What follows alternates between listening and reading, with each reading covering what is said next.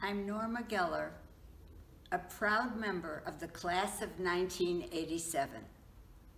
I attended John Carroll while raising my four children, and I thoroughly enjoyed every moment of it. John Carroll was, and always will be, very meaningful to me. I'm here to let you know that on John Carroll's Day of Giving, I am giving to a support a program that I love, the Jewish Studies program. I hope that you will consider giving to what you love at John Carroll. Every person and every gift counts. Thank you very much.